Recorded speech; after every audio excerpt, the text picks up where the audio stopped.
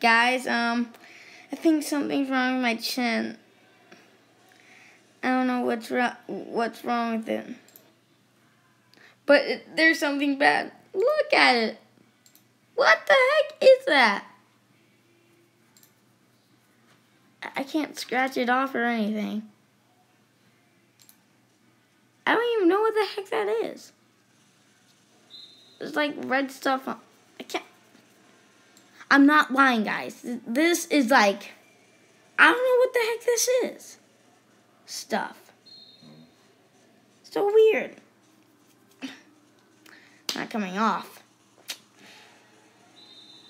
Um, just like say what you think it is in the comments. Because I really want to know what the heck this is.